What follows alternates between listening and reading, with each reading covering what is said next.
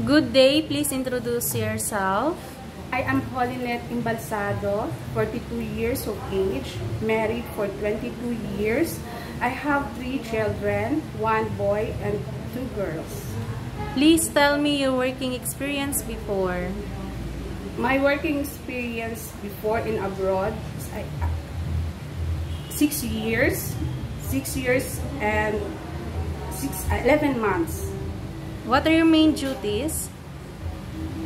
I taking care of uh, children, cleaning, ironing, washing the clothes. What country, ma'am? Kuwait. Did you finish your contract there? Yes. Who will take care of your kids if My you work husband. abroad?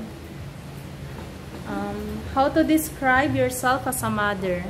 Caring, loving, and I will give everything I can. Are you willing to take care of a newborn baby? Yes, Are you willing to take care of elderly? yes. If baby is crying, what will you do?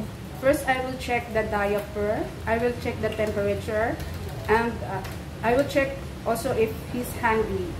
Are you willing to share room with kids or newborn baby? Yes, Could you sing a nursery song? yes.